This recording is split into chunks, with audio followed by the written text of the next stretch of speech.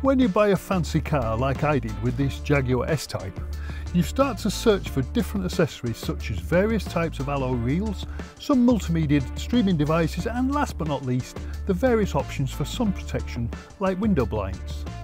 There are several options available. For example, those children's window blinds with small rubber suction cups that look ridiculous on this vehicle. A second option is window tinting foil. Many people use that option, but it has a number of drawbacks. For example, air bubbles left after bad installation, and secondly, if you want to remove the foil, it is really difficult and time consuming. Also, many specialists say that on this vehicle, the rear window is so curved that it is not possible to fit tinting foils. For the same price, you can buy custom made window blinds.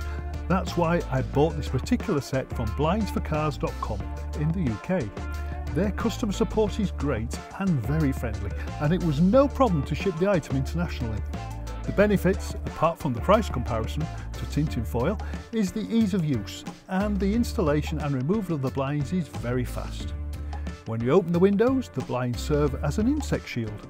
During night driving, rear passengers can benefit from less headlight reflection.